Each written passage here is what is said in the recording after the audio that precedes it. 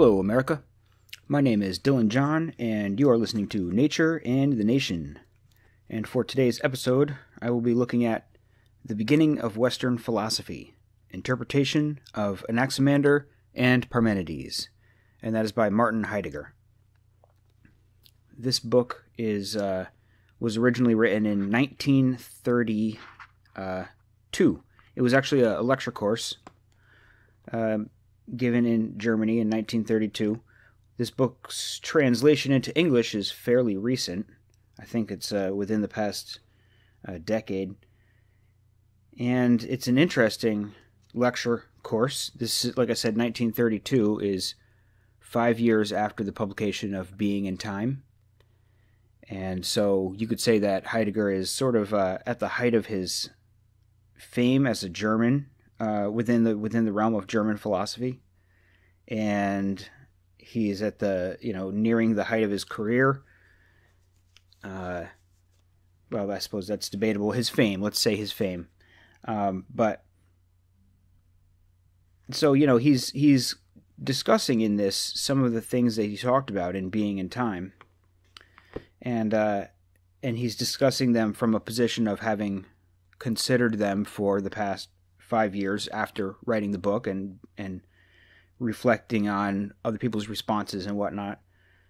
Uh, so I really like it because of the way that it dives into some of the stuff that Being and Time talks about.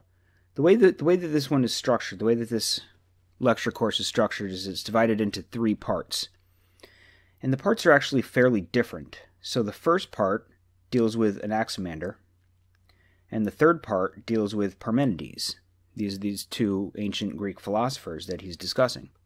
But the middle part, part two, doesn't really talk an awful lot about either of them. It talks more about what is Martin Heidegger's project and also why he's going to the beginning, like the name of the course, the beginning of Western philosophy. Why is he going to the beginning of Western philosophy to seek out answers to his question? Um, and so I think it's just really fascinating because I think that, I don't know, it's almost like the three parts of this lecture course were written independently. And he had the essay on Anaximander and the essay on Parmenides, and then he had another essay that was kind of like unrelated, and he stuck them between the two. He ties them together a little bit um, because he has to, but it's really like reading a totally different essay when you read the second one versus the, the first and third. It's like the first and third are kind of like these prickly outer coat covering and the of a fruit and the second essay in the middle is this like juicy comprehensible like easy to read and understand um, like resource in the middle of this thing the outer two are much more challenging actually the last the part three the part about parmenides is not even as fully finalized. I don't think it's it's still rough and in the form of like notes. Like this is derived from his lecture notes, and uh, with his help, it was turned into a more readable form. But um, for some reason, I don't think that the, the third portion was actually attended to in the same way that the first two parts were. And so the third part, there's like it's not really complete sentences. Sometimes it just seems like it's lecture notes sometimes, and it's very challenging. It draws a lot on the Greek text and the Greek characters and the meanings of the various Greek words of the fragments. Um, I don't read Greek. I don't read Greek characters, so it was kind of challenging to to work my way through the first and third, and especially the third. But the the middle one was really like a joy to read because I, I really felt like, oh, hey, I understand this. You know, it really felt like it was it was written for people who maybe you know like being and time is probably written for other professional philosophers and this is written for students and it's after a few years of reflection and it's just like oh this is excellent. Probably underrated uh, writing of heidegger's is this middle section of this lecture. So as always i'm going to read some parts to you. I'm going to read two parts from part one where he, he reads about or he i'm sorry he speaks about anaximander and the other, uh, let's see what I say, I have eight parts. So the other six parts that I'm going to read out loud will all come from part two. And I'm not going to read anything from part three. It just doesn't really, I'm sure it doesn't really come across well read out loud. And I'm not sure that my comprehension is really uh, all that stellar of part three either. Um, I don't want to get out over my head here. Uh, but he, one thing he does say in part three, when he's talking about Parmenides, is he does say that uh, Par- Parmenides is identifies the goddess that he goes to speak to, because Parmenides like basically pre- presents this this poem of going to speak to a goddess and being given this philosophical uh, vantage point, and identifies that that goddess is indeed Aletheia, the goddess of truth, or um, more probably more accurately, the goddess of disclosure or unconcealment. Uh, so that's that's an interesting thing that I want to talk about more, but I'm going to talk about Parmenides more in uh, a different lecture. I'm sorry, in a different uh, podcast episode, an upcoming one uh, with a different book that talks more about Parmenides. So let me go ahead and jump into some portions here of part one, where he's talking about the fragments of Anaximander. Those fragments are few. Um, let me actually just read the main thing that he's talking about, where he, he presents a, a translation of this fragment, translated by Nietzsche, and the, the fragment goes Whence things have their origination, thence must they also perish according to necessity, for they must pay retribution and be judged for their injustices according to the order of time. So that's Nietzsche's translation of that fragment. Uh, he talks. You notice Nietzsche mentions justice. Uh, they they pay retribution and judged for their injustices, uh, and that is why things which have their origination must also perish. All right, so I want to jump into what Heidegger says here. Like all my books, I'm, I'm going to read some decent sections here, some longer than others, but this part he's talking about his translation, his understanding, which is kind of unconventional, of what Anaximander is saying. So he says, quote, Proceeding now to the individual words, we find adikia translated as guilt, wickedness, and we read elsewhere of an adikos hippos, a guilty horse, or a profligate one, or even a sinful one. That is, of course, not the meaning. It is a matter instead of a horse that is not broken in, a horse that will not run in harness, does not fit in, is not pliant, is without compliance. Here, a non compliance reigns. Compliance, that is harmonization, the dovetailing of the totality of something coordinated in itself. Compliance therefore characterizes something interrelated. We see this in phenomena such as day, night, birth, death, etc. Its opposite is non compliance, where the being is somehow out of order. Adikia is noncompliance in this original sense. Certainly, at times, adikia means injustice or something similar, and later it takes on this sense exclusively. In our context, however, the word has no moral, juridical meaning, but just as little does it mean structure, in a neutral sense or the like. How we need to take the counter concept, dike, is thereby already expressed compliance. Compliance, that which incorporates something, which provides the cadre for something, and which has to accommodate this something. None of the usual notions of justice, judgment, penalty, and recompense may be admitted here. And so also the third concept, teisis, cannot immediately be translated as retribution or atonement. Instead, to originally means appreciate. Take the measure of something in its relation to something else. Determine whether and how it corresponds to something else. Therefore, we will translate not with retribution or atonement, but with correspondence. Whereas dike, compliance, emphasizes the belonging together as such, Teisis brings out the respective measuring off of the correspondence. It is clear that this meaning of Teisis supersedes its meaning as retribution and atonement and it is just as clear that there is no necessity or even possibility to speak automatically of retribution upon encountering the word teisis. Hence, we must not maintain that in antiquity these words had at first an individualized, practical, moral meaning, which was then subsequently altered and transferred to non moral relations of beings from other regions. It is the reverse. And we must think that in antiquity, individual regions of beings were not at all separated out yet The delimitations arose for the most part only in connection with the rise of the sciences and had the effect of diverting and making murky the original, comprehensive view of beings as a whole. End quote. Okay, so he's really just saying that where Dike and Adikia were translated previously as justice and injustice, their earliest use was not so morally connoted. Um, the the words that he prefers to use are compliance and incompliance. Uh, so that's interesting. What does he mean by that? The, the second part here that I'm going to read is also from part one, so it's also about the Anaximander fragment. And he's talking about this compliance and non-compliance idea uh, a little bit further. So in this section, he says, quote, In what does the non-compliance persist? How does it persist? These two questions are one.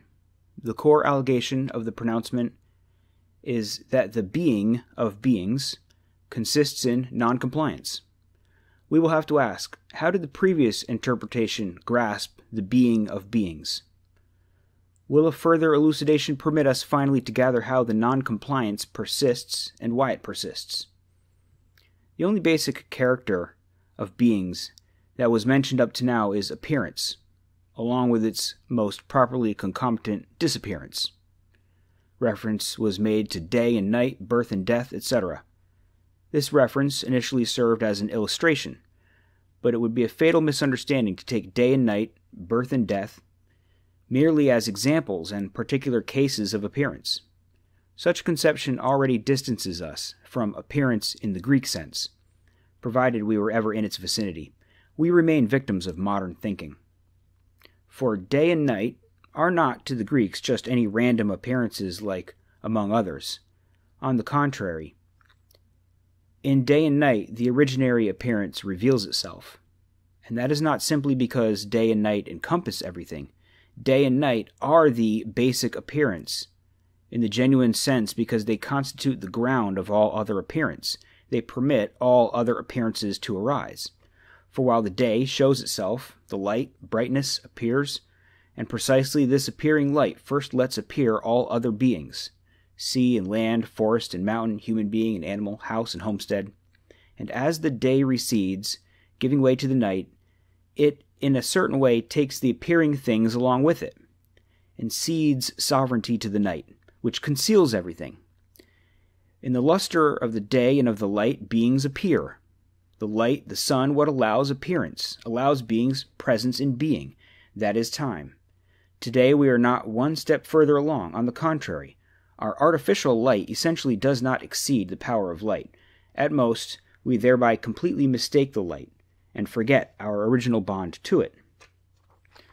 What does that mean? Every being sets itself out in relief. Every being raises itself up over and against others. Appearance is not merely a stepping forth. The stepping forth is an entering into a contour and into the limits of the contour. Set out in its contours, standing out in them, the being is, i.e., comes into the light of day contour. Not an indifferent framework, but the integrating, gathering power and inner substantiality of things. Thus, through the clarification of an appearing thing in its appearing, a new essential character of the being of beings has obtruded. More precisely, appearance as emergence has been better determined as an entering into contours. Appearing, emergent entrance into contours. The experience of beings as what appears in possessing such being, that is the primal experience of the Greeks. Yet what is this to us, this sharper and fuller formulation of the essence of appearance? It should bring us closer to an understanding of the being of beings. But that, in turn, is for the sake of understanding, on the basis of such a grasp of beings, how being persists in the non compliance, which constitutes the non compliance of beings. If the non compliance is not something tacked onto beings in the guise of a defective property or a belated epiphenomenon, but if it belongs, as Anaximander basically says, to the essence of beings as beings, then a sufficiently broad and penetrating elucidation of the essence of being must clarify how the non compliance predominates here in beings as such. That which stands in apparentness is, as such, non compliant, out of order. What can this now mean in terms of the expanded clarification of appearance? We will try to clarify it in the context of the pronouncement by way of a free construction, so to speak. Appearance means emerging entrance into contours. This entrance into is supposed to be out of order. Whence steps that which enters into contours? Out of a lack of contours. What holds itself in apparentness persists in contours over and against contourlessness. The non compliance would then consist in the possession of contours. Seen this way, what then is disappearance? Let us remain within the basic experience of the Greeks. When day gives way to night and darkness falls over things, then contours and delineated colors disappear. The limits of things become indistinct and fade away. Things lose their substantiality and individuality. Everything is concealed in the gaping void of darkness. Disappearance is accordingly a stepping back out of the possession of contours into contourlessness. Returning to appearance is then a giving way to a persistence in contours. In giving way to it, the appearance takes into consideration the non compliance occurring through an abandonment of contourlessness. The receding acquiesces to the contourlessness, and in this acquiescence testifies to it. Thus, the noncompliance would then be persistence in contours over and against contourlessness, and compliance, return to contourlessness. End quote. Okay, so you probably can guess from hearing this how challenging it, it can be to read and comprehend Heidegger.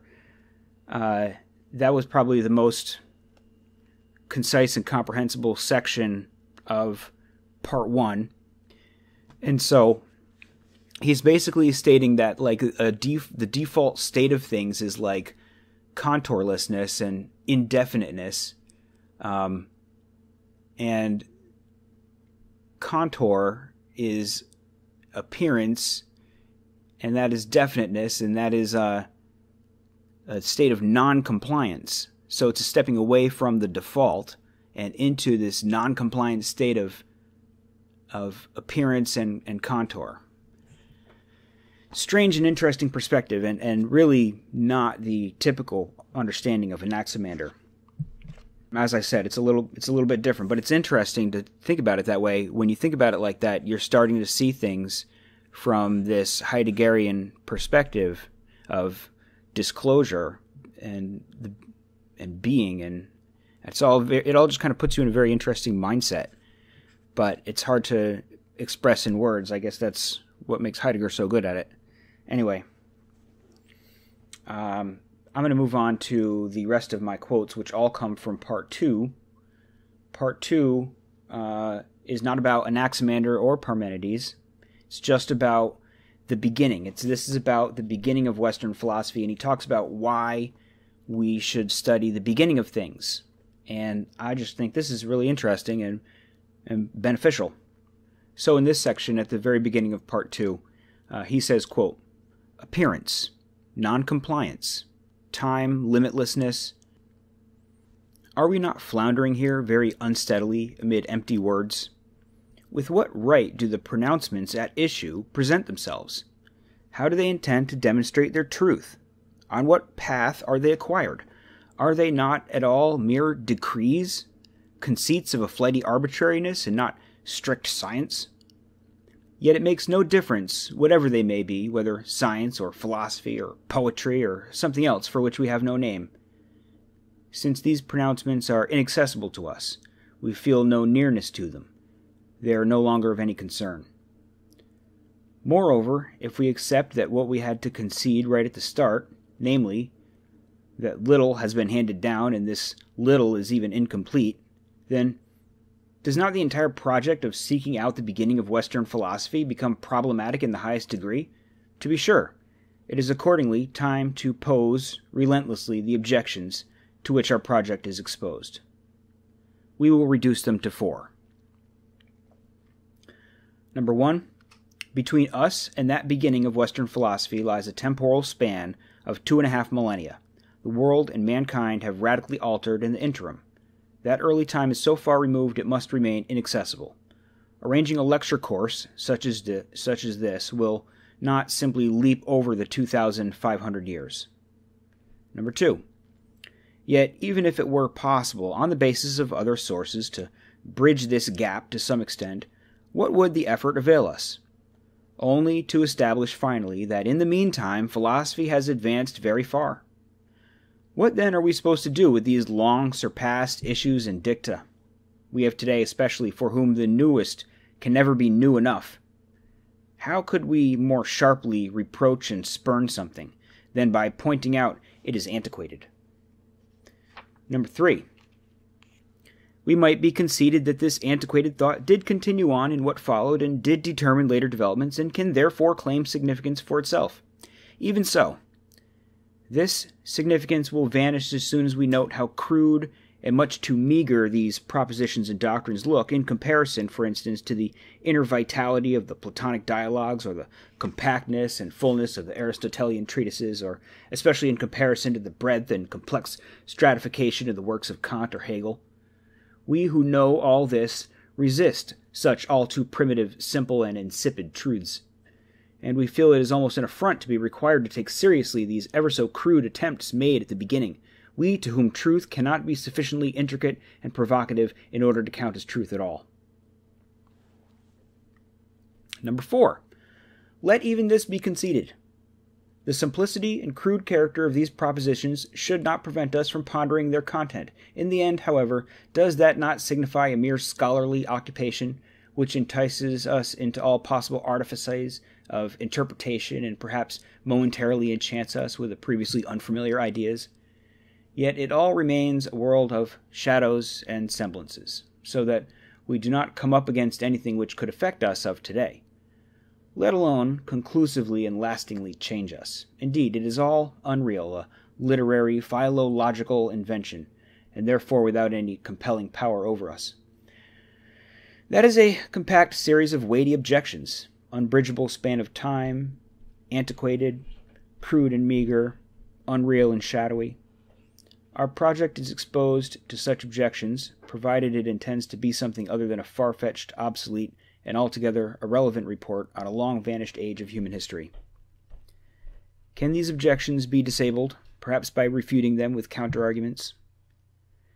Yet can this vanished time indeed be expected to return by way of a refutation of objections, and become new and fertile and real? In fact, a reality never arises out of the mere refutation of false views. To charge headlong those objections would be useless without wondering at all about the content and essence of the presuppositions from which the objections arise and draw sustenance. What is speaking out in those objections? It is we, ourselves, which is why they seem judicious and pressing. We, therefore, we, the way we behave when we say unbridgeable span of time, antiquated, crude and meager, unreal and shadowy, we act in the reeling off of these objections as if we were undoubtedly ready to lend an ear to the beginning of Western philosophy. We act as if we were not only ready, but naturally also predisposed to let it say something to us. We act as if we were even capable of deciding whether this beginning has something to say to us or not. We even think that such would be an honorable endeavor, and we flatter ourselves on the critical prudence with which we look upon the project of seeking out the beginning. We do all this, but what if we are thereby deluding ourselves? And what if this self delusion was one that found it fitting to take shelter behind those objections? Perhaps well intentioned, but nonetheless a great self delusion that shelters behind the objections, shelters behind precisely in order to shelter itself from ever becoming actually exposed to those early times. It is, of course, a self delusion. What does that self delusion consist in? one with which we have long been stricken. In the fact that humans have convinced themselves that the old is the antiquated, the antiquated the past, the past what no longer is, and what no longer is as non being, a sheer nullity. What could be more obvious than this conviction that the old is the antiquated, and what is easier to cast off than the antiquated, since indeed, as past, it passes away of itself? Is this self delusion accidental? If it is, then how does it come to be so widespread? It derives from a firmly seated prejudice about humans and about their relation to history. The prejudice is that this relation consists in and is based on historiological cognitions. We take ourselves to be disposed and authorized without further ado to judge what history, and especially the past, can mean to us and is allowed to mean to us. The four objections stem from a single prejudice, one so well guarded today that it faces not even the least danger. On the contrary, at most it is increasingly advancing. For what age has ever acquired so many and such varied historiological cognitions as ours? When were past cultures and human types ever rummaged through and psychologically and analytically probed to such an extent? When were these constantly accumulating cognitions ever served up with such a shameful top dressing that in today's journalism, a journalism whose very successes do not allow this science to sleep, must not finally such an excess of historiological co- cognitions show us the full totality of history and prompt us to believe we had a relation to history? Or is this monstrous amount of historiology precisely what rivets us to the prejudice about our supposedly genuine and authoritative relation to history?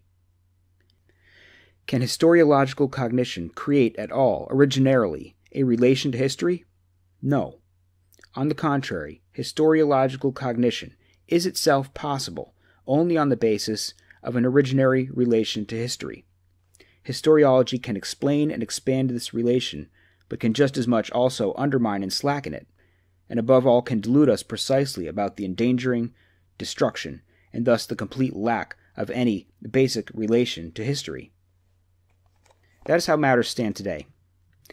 Therefore, we can, without scruples, believe ourselves justified in bringing forward objections against the possibility and intrinsic value of the project of seeking out the beginning of Western philosophy, and also justified in finding these objections self evident.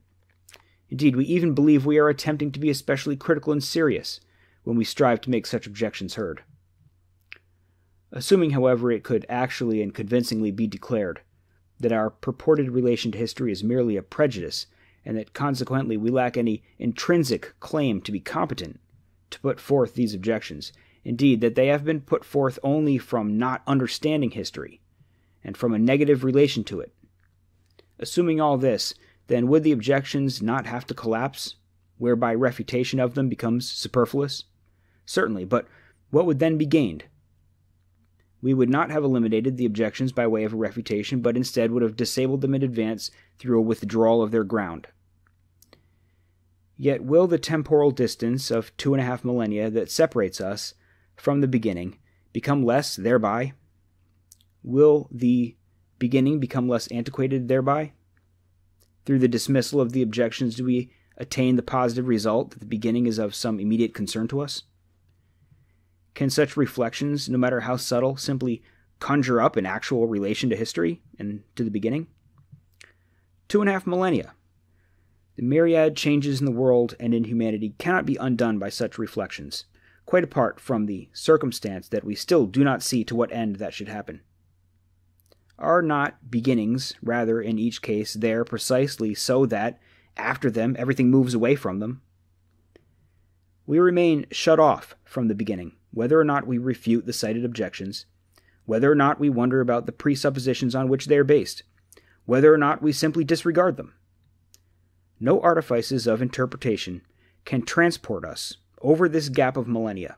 No so called empathy can magically replace something bygone with something real. That is how matters stand if we stay sober and do not fool ourselves. We must face the fact of our continuous movement away from the beginning. More precisely, we must face the fact of our detachment from the beginning. And it is not a splendid thing to bow soberly to the facts, especially when they are as indisputable as the constantly increasing distance of the present from the past, our movement away from it. Yet the facts are also peculiar in not being exhausted by what we casually and uh, obviously ascertain about them. To be sure, we usually believe that in this way we possess what the fact is. We do not take into account and have no eye for what in the end could be the case with the so called fact. Yet what then could this indubitable temporal gap between us of today and the beginning of philosophy still further be? What concealed possibility could still lurk in this naked fact? Let us indicate this possibility first by way of an image. A wanderer in an arid region must distance himself more and more from the spring at which he first and last drew water. Viewed soberly, his distance from this spring is thereby increasing. He leaves the spring behind, and with his increasing distance, he loses his orientation. The spring, in the end, lies inaccessibly far behind. Assume the wanderer then dies of thirst. Why did he die? Presumably because, at too great a distance from the spring, he no longer had a relation to it. Yet, how is the too great distance from the spring no longer a relation to it? At a sufficiently great distance, does this relation cease to be a relation? Or is the excessively great distance from the spring always still a relation to it? A negative relation, but still precisely a relation, and even one that is hardly inconsequential. Does the wanderer somehow get loose of the spring in the increasing distance? Does he step away from a relation to it? The opposite is the case. Does not the spring pursue him more importunately the closer he comes to dying of thirst? Indeed, soberly calculated, is it not precisely the very far distant spring that lets him perish? Therefore, does not the wanderer, in his roaming and advancing, come to perish because of nothing other than this spring? An image. What if, now, in our relation to the beginning of Western philosophy, we were such advancing wanderers? What if, not just today, but since long ago, the advancement of Western philosophy were a constant, ever greater perishing because of its beginning. And what if, in this history of perishing, precisely in it, the beginning pursued and importuned the one advancing? And what if, in this pursuing and importuning, the beginning were constantly there, in the closest proximity? A quite different proximity than could be pointed to by the image of the spring and the wanderer. And what if this closest proximity of the beginning had to remain concealed precisely on account of the advancement. How do matters now stand with the naked fact that in advancing we distance ourselves from the beginning more and more? This fact has changed. It has become richer, even if merely with regard to possibility. The fact of distance includes the possibility that the relation between us and the beginning is a negative relation, a negative relation thanks to which the beginning stands concealed in our own closest proximity. This fact not only stands before us, we also stand in it, thus in the possibility that the beginning has the closest proximity to us. But then the question of whether we can or cannot leap over these two and a half millennia is a bagatelle compared to the question of whether we experience and see that the beginning pursues us and importunes us out of the closest proximity the temporal distance of more than 2,000 years, this gigantic span of time, would in its significance be nothing compared to this negative relation of nearness. The invoking of the mere fact of this temporal distance would then at most be a deception, which we only strengthen with the alleged sobriety. In the end, we must decide at least to look into the face of the possibility of the dangerous closest proximity of the concealed beginning. We must learn that here and in general, in the naked fact of history, the essential is hidden, that only apparently does the naked fact constitute the actual happening of history, and that the representation of history becomes even more destitute when so called ideas are tacked on to so called facts, and ideology is used to help explain history. It has not yet been seen that this ideologism is the worst positivity and that the latter is even still dominant. We must, therefore, face the possibility that our relation, or negative relation, to the beginning of Western philosophy does not primarily depend on the extent of the intervening temporal span. In other words, it could be that we remain as far removed from the beginning as we are today, even if the beginning happened only a decade or a year ago. It could be that in our, in our negative relation to the beginning, we are so very obdurate that not only are we simply unable to experience and grasp its proximity, but we do not want to. We must face the possibility that the beginning is not the old in the sense of the antiquated, but that we are so very antiquated that we can no longer understand a beginning, and especially cannot understand when we invoke the advanced and the contemporary.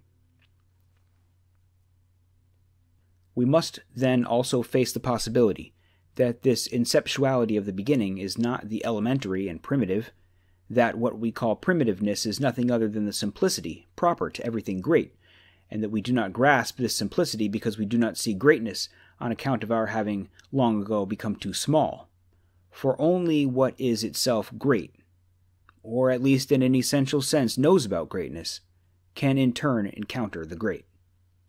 In the end, we must face the possibility that the beginning, which no longer seems to be of concern to us, importunes us to the highest degree out of the closest proximity, that it constantly does everything with us, and that without it we cannot do the least thing.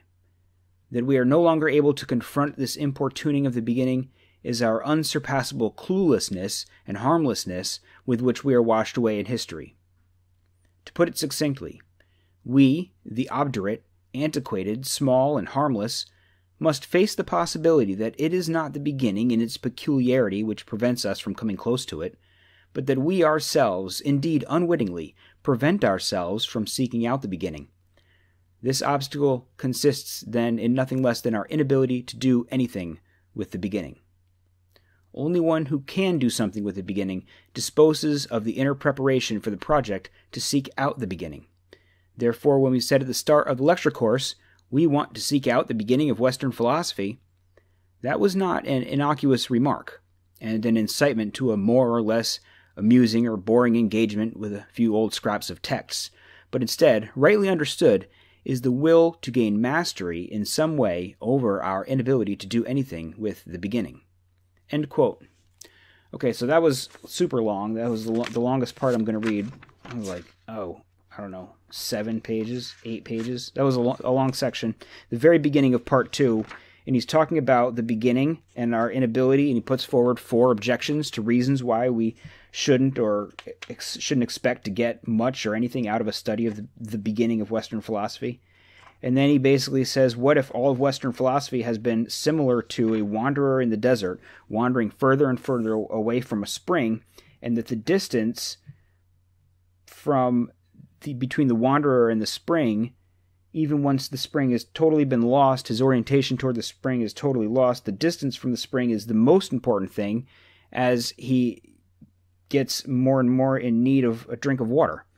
And when he dies of thirst, it was precisely his distance from the spring which was nearest to him as he die, lay dying on the desert floor.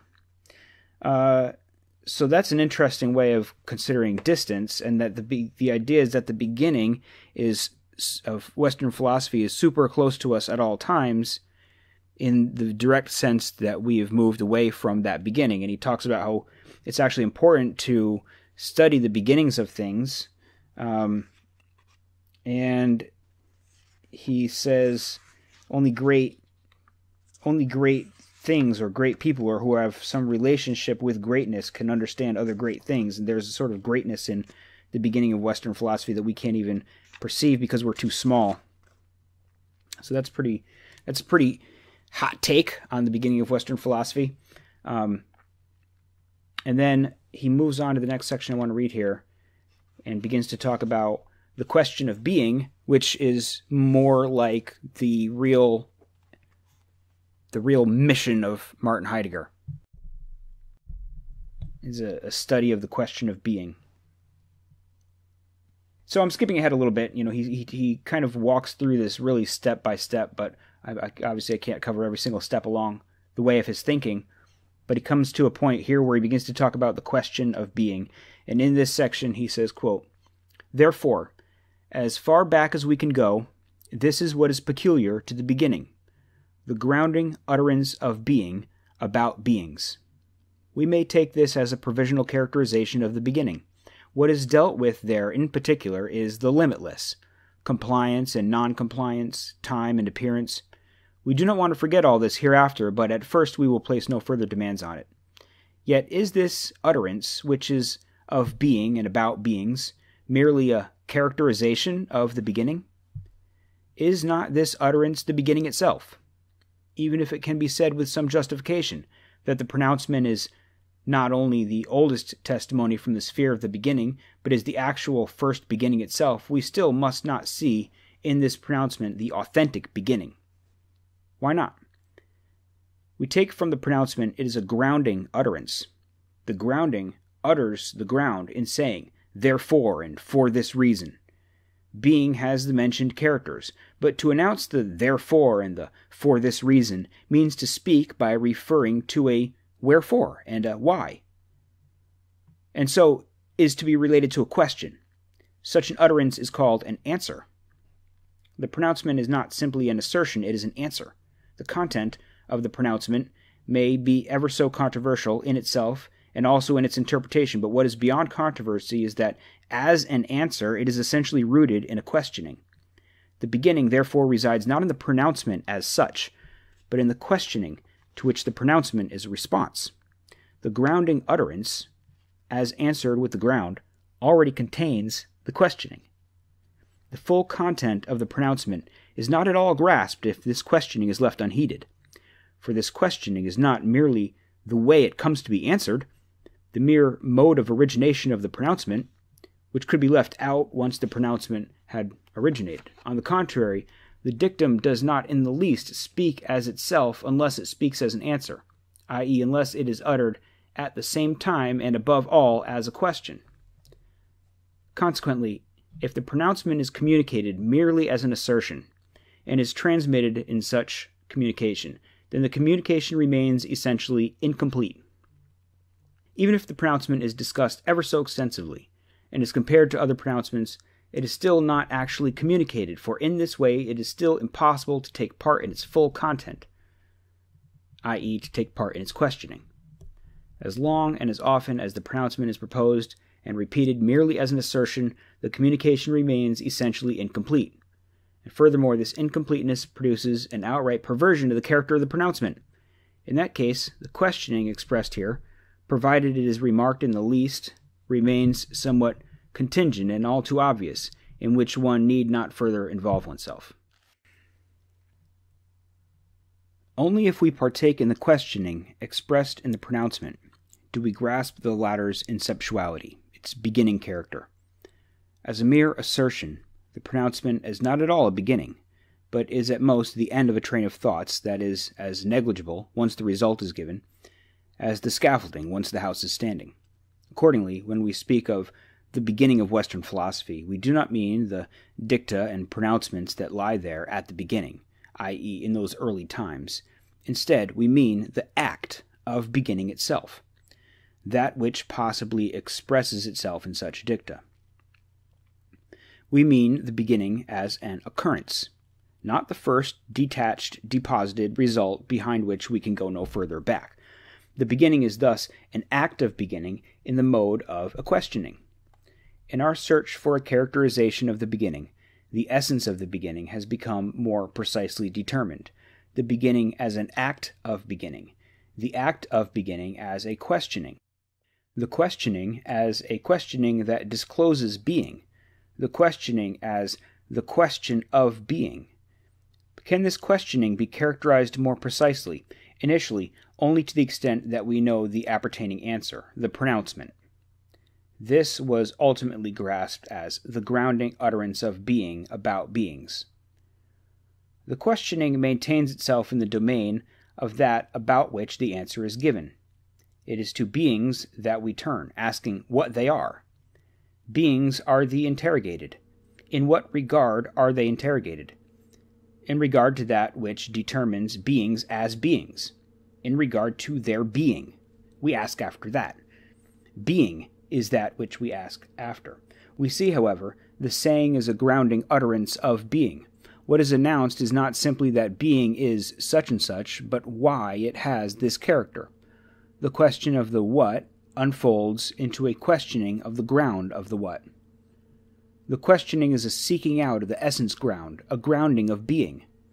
This grounding question of the being of beings we call the questioning that discloses being. End quote.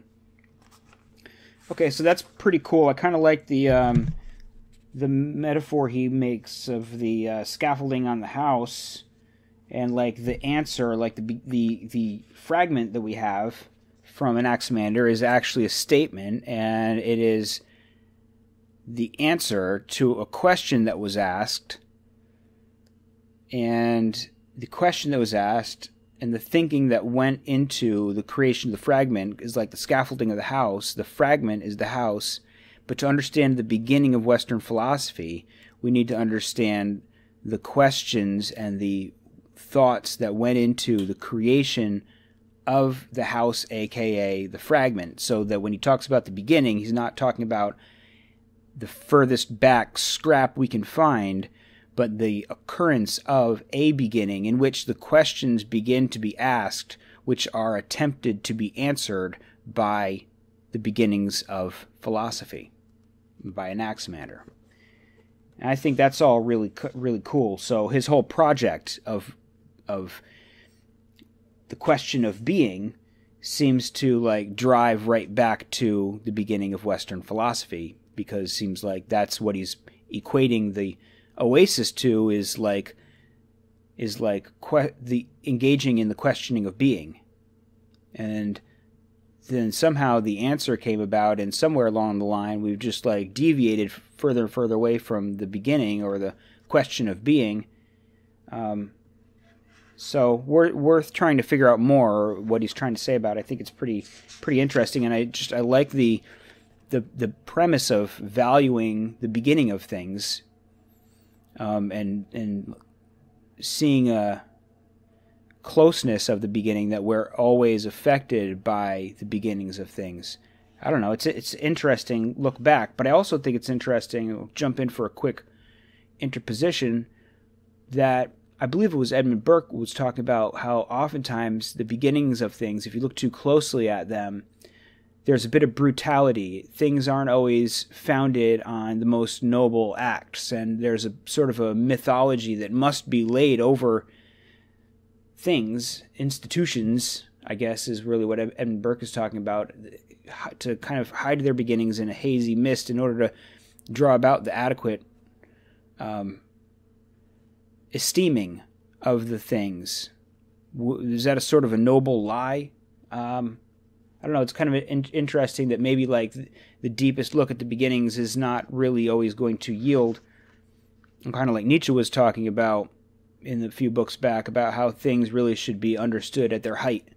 Of course, Nietzsche places the height of Western philosophy in ancient Greece, but it's a bit of a different thing. One one is looking for the apex of things, and and Heidegger Nietzsche's looking for like the apex of things, and Heidegger is looking for the real beginning of things. Anyway, let's move on here. So, uh, so he, he's he goes on talking about the question of being at length. That's really kind of the subject of much of the rest of this part two. He says, quote, Fine. This then is the question of being.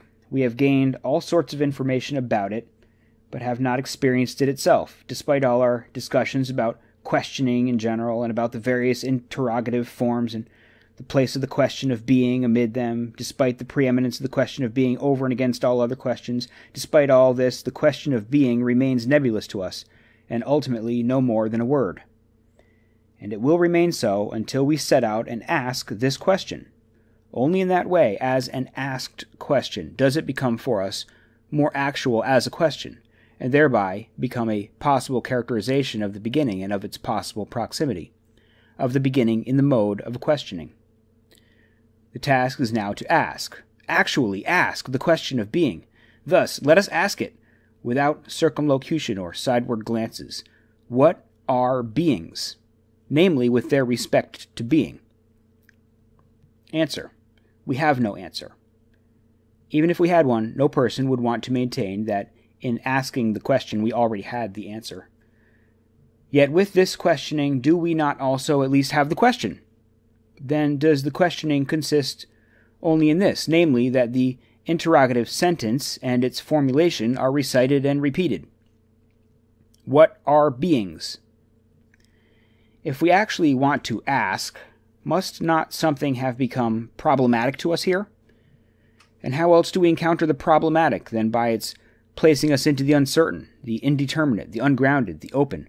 The problematic brings us the unrest of indecision, whether something is so or is otherwise, or even is so at all.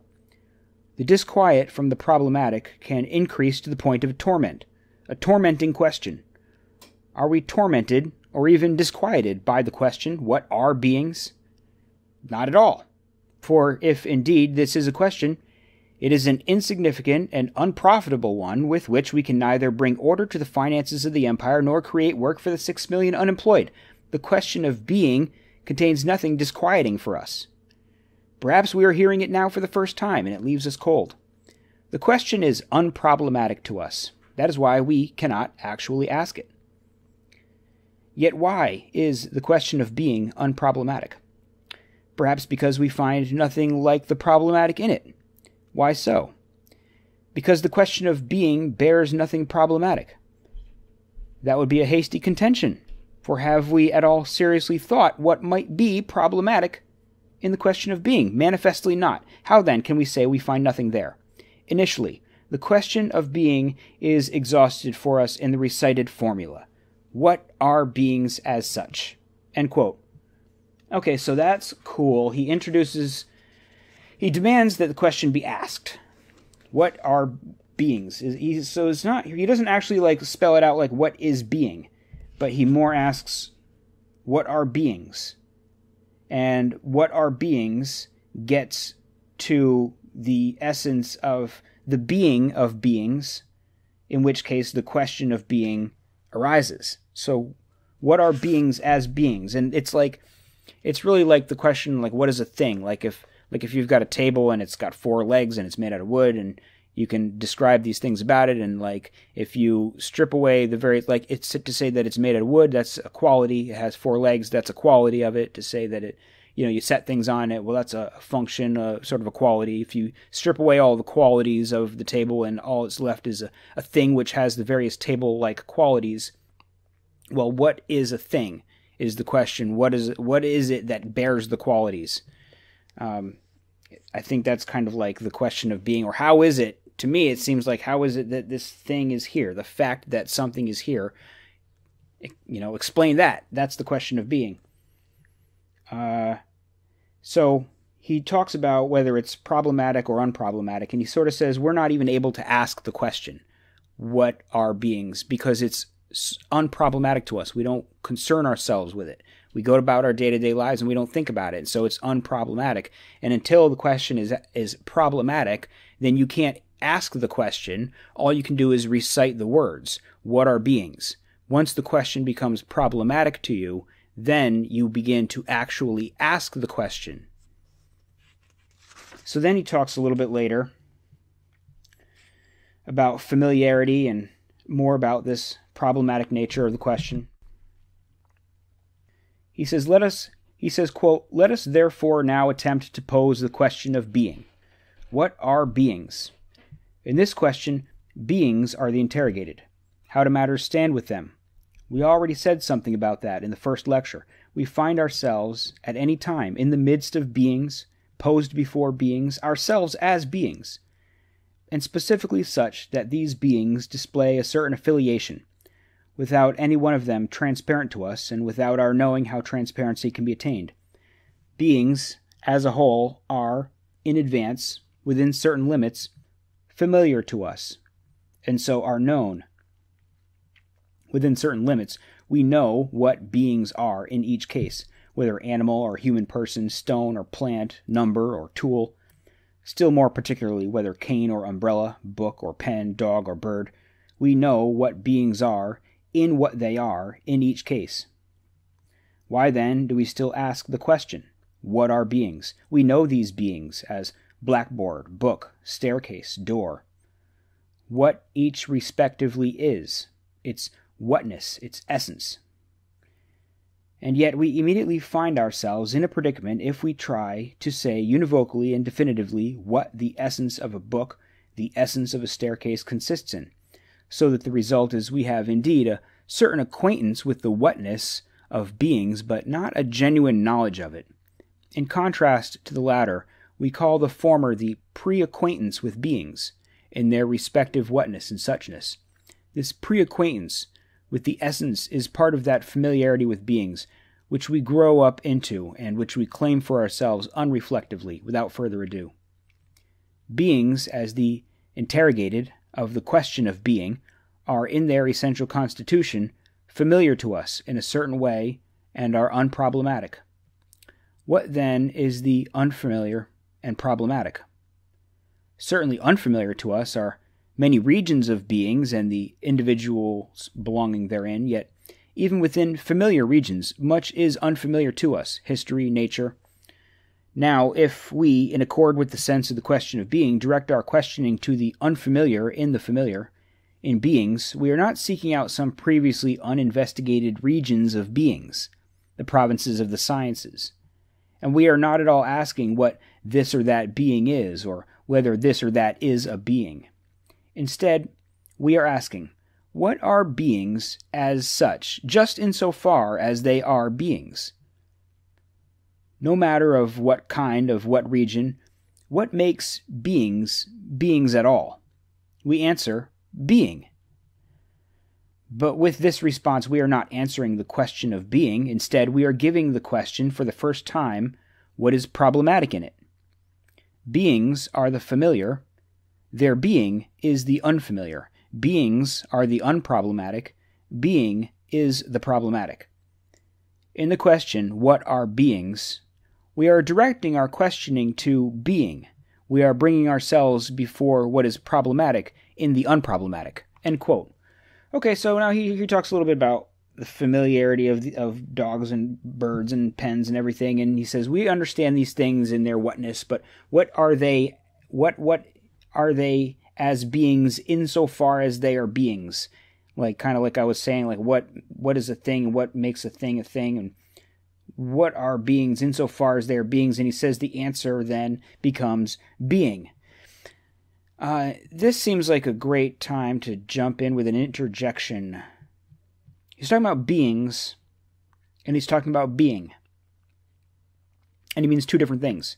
And he capitalizes being to mean like being as such, existence, the fact of reality. When he uses says beings in the plural, he's generally talking about things.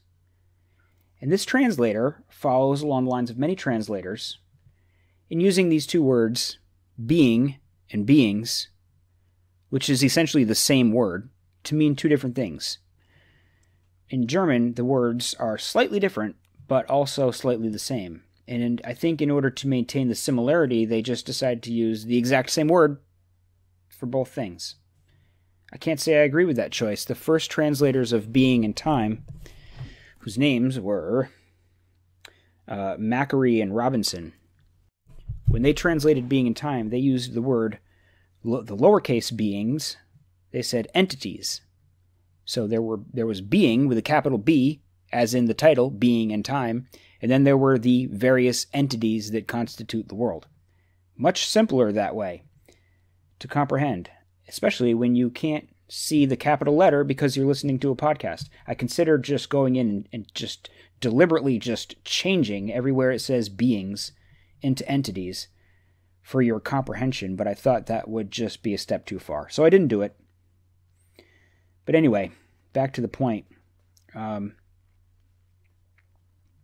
so he says, we, we comprehend beings. He says, beings are the familiar. He says, their being is the unfamiliar. Beings are the unproblematic, but their being is the problematic. He says, in the question, what are beings? We're directing our questioning to being. We're bringing ourselves before what is problematic in the unproblematic.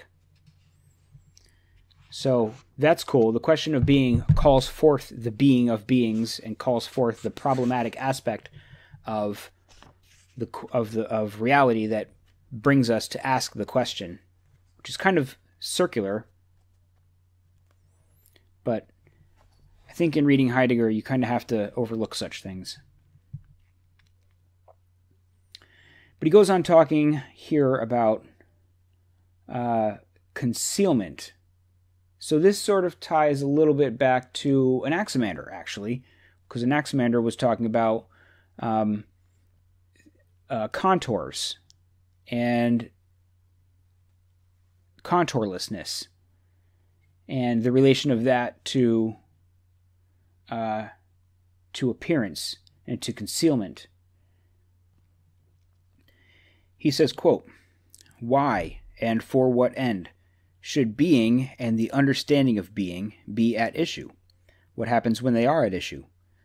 Nothing less than this beings as a whole, previously concealed from self manifestation, find for the first time and henceforth, in one way or another, the sight and amplitude in which they can step forth, out of their concealedness, in order to be at all as the beings they are. In this way, for the first time, concealment is also provided them. Prior to that, they lacked it. Thereby, beings come by their being. They do so only if and insofar as the understanding of being occurs. And the condition of possibility for it, namely, that this occurrence becomes history, is the transition to the existence of humans. But again, that beings as such come to themselves is not intrinsically necessary even if there already are humans. Beings can remain sunk in the full night of self shrouded nothingness, such that they are never granted the possibility of being concealed. For there is concealment only if the sight of disconcealment holds good. If, however, beings as such are to come to the light of day, if this day is to dawn for beings, then, as was shown by our attempt at a complete disesteeming of the understanding of being, being must come to be understood in advance. Yet being can never simply be found amid beings as one being among others, nor can it first be drawn out of beings by way of abstraction. Being can therefore nowhere and never simply be encountered. Accordingly, it must be sought, originally and entirely for itself, i.e., it must be disclosed through questioning. Humans must undertake this questioning, and the most proximate form in which this questioning starts at all is the question What are beings? This question already includes the other one How do matters stand with being? Being is thereby placed into question in advance. What is sought is as such configured, and specifically as what is at issue, when the issue is supposed to be beings as such. Through this original questioning, and only through it, being becomes what is at issue primarily and for all beings. As being comes to be understood in this way, beings as such are empowered to be themselves.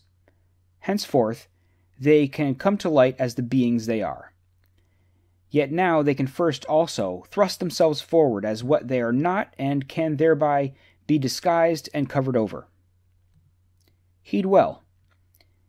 It is enough that questioning merely be directed to being in order for being to be found. The disclosure through questioning brings about as such the essential finding, and being remains a finding only inasmuch as and as long as questioning is directed to it. To disclose being through questioning means first of all to ask, What are beings as such? By this questioning, humans hold to themselves for the first time, and in this holding to themselves, they explicitly hold themselves over and against that which is encountered in such questioning stance, and thereby they comport themselves to what, namely, beings, is encountered through this questioning. Humans now become that which, as existent, stands out of itself, toward beings as such. The questioning directed to being is the basic act of existence. This questioning inaugurates the history of humans as existing humans. End quote. Okay, so that's pretty heavy stuff right there. Uh, he talks about day and night a little bit, um, but what I appreciate really is the following line. Uh, he says, he says, quote, It is enough that questioning merely be directed to being in order for being to be found. This disclosure through questioning brings about as such the essential finding and being remains a finding only inasmuch and as long as questioning is directed to it. So he's really saying merely the act of questioning being discloses being and provide begins to provide the answer to the question. And he's also talking about existence. And he's talking about, he says toward the end of that section I read, the questioning directed to being is the basic act of existence this questioning inaugurates the history of humans as existing humans. So he's really saying that he's talking about existence, by which he means beings which are able to comport themselves toward themselves or toward other beings, to be able to consider and choose what and which way to comport themselves, must well, let's see. He says, yeah, humans now in asking. Well, let me just read this other section here. He says, to disclose being through questioning means first of all to ask what are beings as such. By this questioning, humans hold to themselves for the first time, and in this holding to themselves, they explicitly hold themselves over and against that which is encountered in such a questioning stance. Thereby they comport themselves to what, namely beings, is encountered through this questioning. Yeah, so the he, I mean basically he's saying that more or less the the the question what are beings as such brings about humans as humans, humans as existing entities within history and probably like as conscious um, the conscious entities that we are in, in the various ways that we're different from animals. The ability of us to comport ourselves and to think of ourselves as ourselves, which generates the existence of the self, the ability to be self inward, to stand outside yourself. That's how he generates the word existence, is to stand outside yourself, to be able to stand outside yourself and consider yourself. But also, the capacity to stand outside yourself is in the capacity to comport yourself and to choose to what your attention is given, um, and to have the capacity to question. So let me move on here. Um, oh, I guess the one last thing I want to mention is the concept of insistence. He talks about that in the next area, but um, this is the last part I'm going to I'm going to read from. Insistence is basically the human disposition to constantly concern ourselves with beings and to uh, not concern ourselves and not be familiar with being as such. That's our insistence our insistence towards beings. He says, quote, It must never be forgotten. Questionworthiness and sovereignty are proper to being and to the understanding of being, not intrinsically and in general, but only insofar as humans claim and adhere to the liberation toward existence. Admittedly, that occurs also when and where the stance and comportment of humans have the character of insistence. For even then, comportment is the sovereign standing in relation to beings except now the sovereign and guiding understanding of being is forgotten, and the disclosure of being by way of questioning is abandoned. Accordingly, if the understanding of being is unfamiliar to us, and the question of being forgotten, it in no way follows that we do not still claim it, i.e., do not exist. Insistent existence does not abolish the understanding of being, on the contrary, it merely entrenches a conventional mode of this understanding, without giving it another thought. The understanding of being does not disappear, it merely hides behind a mask, the mask of what is most unproblematic. As long as we exist insistently, we do not see through to what is behind the mask. On the other hand, as soon as we acquire a regard for the essence of existence, we see that this unproblematic, harmless, insignificant being and understanding of being can be nothing less than what, although disesteemed, is the most question worthy for existence. This disesteeming of what is most question worthy, however, does indeed mean leaving the question of being unasked. Leaving it unasked does not eliminate it, but instead suppresses it, as held fast yet unasked. Suppressed in this way, the question of being is still there. Then where? In our insistent existence. Our paying no heed to the suppressed question of being is not a proof against its being there, but merely demonstrates that in suppressing it we mean that we could withdraw from it at any time. We can withdraw from it only in the way the wanderer, distancing himself more and more from the spring, semblantly dissolves every relation to it and yet perishes precisely through and on this relation of distancing himself. The question of being, as unasked, is in the closest proximity of our Dasein as existent. For what can be more essential to our existence, thus closer and more intimate to it, than the ground of its inner possibility? But that is precisely the question of being, and the disclosive asking of it.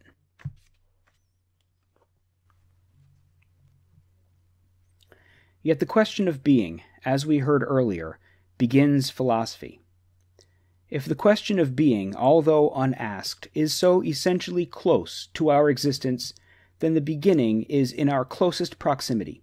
We stand, in so far as we exist, even if insistently, in this beginning, but in the beginning as one that is no longer begun and has perhaps come to a premature end. The question of being is indeed unasked, but it is not therefore nothing. This disesteemed question demands, in a quite different sense and measure, the esteeming that per- pertains to it precisely as the still never posed question. In view of the unasked question of being, being and the understanding of being merely become more question worthy, if indeed insistence intrinsically claims existence. The results, taking all in all, are the following. To be actually existent means for us to become the ones we are. The basic happening of this becoming, however, is to grasp the ground of the possibility of our existence by fathoming this ground. That means to ask again the unasked question of being, and that implies to begin again the unbegun beginning. The moment we grasp our humanity as existent, the act of beginning, the beginning becomes the first and last necessity. Then, however, the beginning no longer lies in back of us as something disposed of, left behind, past, nor is it simply in the closest proximity as something hidden behind the mask of the most unproblematic. On the contrary, it stands before us as the essential task of our most proper essence.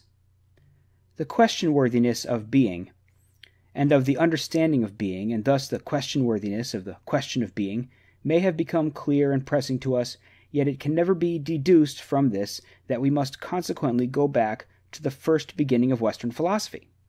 On the contrary, is not the beginning all the more immediately asked, the more exclusively we today ask it completely from our own present resources?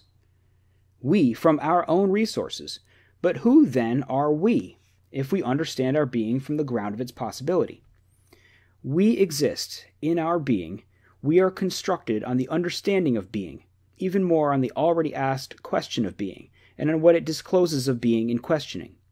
Insofar as we exist, that beginning still ever happens. It has been, but it is not past as having been. It prevails and keeps us of today in its essence ever since our humanity as existent has been grounded on the occurrence of the beginning. Ever since any asking of the question of being, provided it is an actual, self aware questioning, has become a re asking, one intrinsically historical and thus properly historiological. Historiological cognition is not merely aimed at retaining what has been and delivering back up to us what was retained. Instead, its basic task above all is to take what has been and cast it up into the heights of its respective greatness. Historiology that is not given to preserving the greatness of what has been, historiology that does not succeed in assuring that this greatness remains great, is an odious pastime in no way justified by being carried out as an exact science. On the contrary, the unrelenting rigor of this scientific work first receives its sense and justification from such preserving and assuring. The asking of the question of being is intrinsically historical and historiological, as is all philosophizing.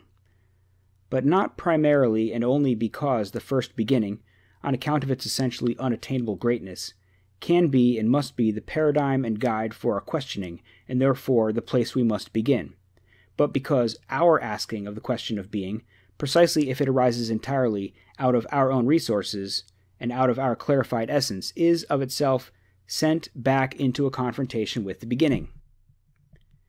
It would amount to pondering a pseudo problem if we were to ask whether and how systematic philosophy and the history of philosophy are supposed to go together, for the separation of them is already mistaken about the essence of philosophy.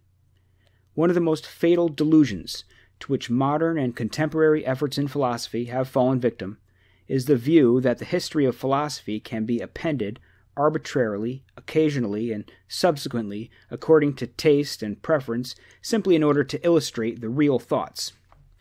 To co ask the question of beginning, a re beginning of the initial beginning, is not an arbitrary occupation, not something that runs its course apart from beings, certainly not an indifferent consideration that would be crammed onto beings and could be just as easily left off.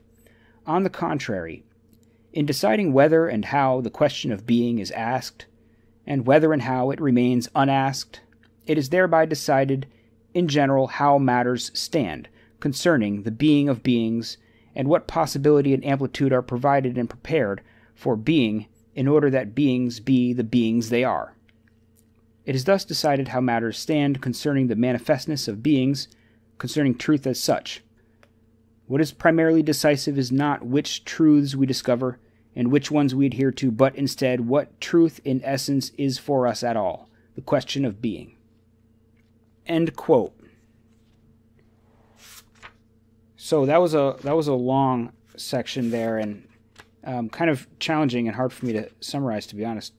Um, but it does kind of come back to the necessity of re-asking uh, the beginning today and our inability to escape from it and that even if we re-ask it today, we can't necessarily sever ourselves uh, from approaching it. And uh, yes, I mean the one line here that I kind of was drawn to is the following one when he says, "quote The question of being is indeed unasked, but is not therefore nothing." The disesteemed question demands, in a quite different sense and measure, the esteeming that pertains to it precisely as the still never posed question. Basically, saying that the question of being is unasked, but must retain must re- reacquire the esteem that pertains to it. And uh, I don't know. I think that's cool. Of re- an entire, essentially saying that knowledge of the question of being demands a reorientation of all philosophy towards it.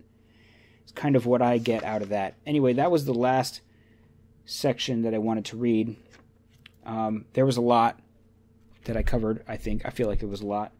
And it's hard for me to summarize because I'm not a professional philosopher, but I liked that middle section there. I felt like I was able to absorb enough of it to be able to get a grasp on Heidegger's in, insistence upon the question of being and the tying of the earliest of philosophy, which I just find myself really drawn to anyway, is like the beginnings of Western philosophy. I mean, it just seems important Western philo- Western civilization being like so driven by Western philosophy, the be- the very birth of Western philosophy seems an important thing to examine. Um, so yeah, that's uh, it's a pretty interesting. I'm going to continue on. I'm, I'm, really kind of doing a deep dive into these pre-Socratic philosophers. So my next book, this one touched on Anaximander, touched on Parmenides, and I think that the only thing I mentioned Aletheia. He identifies the goddess as Aletheia. That was all I wanted to mention about Parmenides. The next book is going to go into Heraclitus, which this one largely skips over. I'll continue on with the pre Socratics. I've got a few more books that I want to do to hit on some of these ancient Greek philosophers to extract as much wisdom as possible. So, tune in next time. Bye.